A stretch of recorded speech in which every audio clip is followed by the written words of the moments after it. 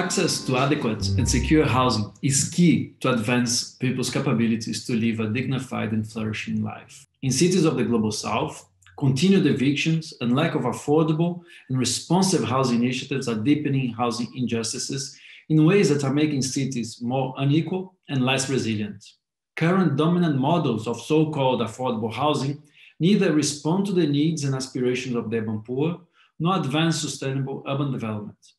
Housing programs on the ground have often reinforced a carbon intensive urban development pathway, making cities more segregated and intensifying vulnerabilities to climate change. At the same time, we have seen the strengthening of local, national, and international coalitions calling for other ways of thinking and advancing housing. At the center of this growing housing movement is the promotion of housing as a right and not as a commodity. This approach brings to the forefront the need to stop evictions, carry out participatory in situ upgrading, diversifying tenure arrangements, and promoting community led processes.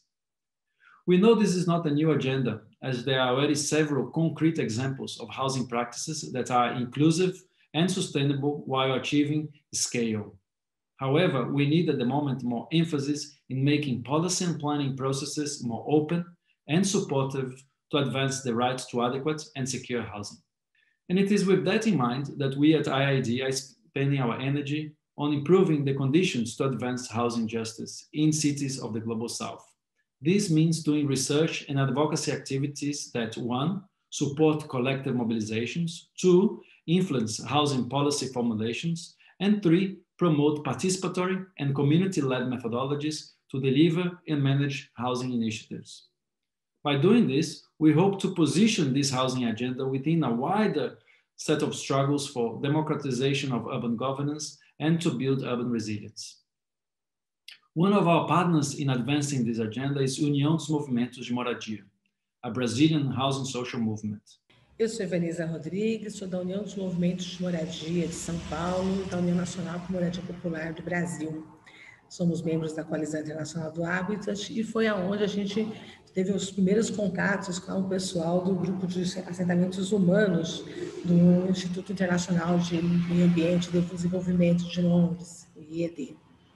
É, eu queria falar aqui a importância que essa parceria tem tido para a União, no sentido da gente discutir agendas que são comuns, agendas que são fundamentais para a luta do direito à moradia e o direito à cidade é, em todo o mundo, né?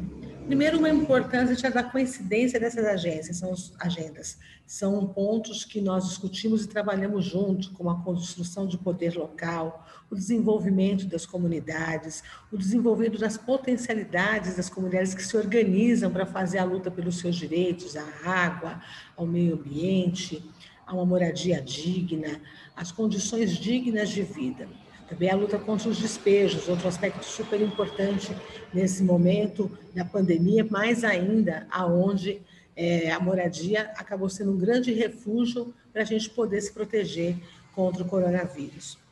Então, essas agendas são muito importantes e essa parceria tem feito que a gente discuta muitos assuntos interessantes e troque experiências com outros países também, da, da América Latina, da África, é, aonde, e, da, e da Ásia, aonde a gente também tem organização popular que faz essa luta. Então, a importância da gente discutir estratégias de comunicação, estratégias de resistência, estratégias de luta dos diferentes movimentos, buscando que a gente possa construir uma troca sul-sul, aonde a gente tenha mais capacidade, mais força para lutar.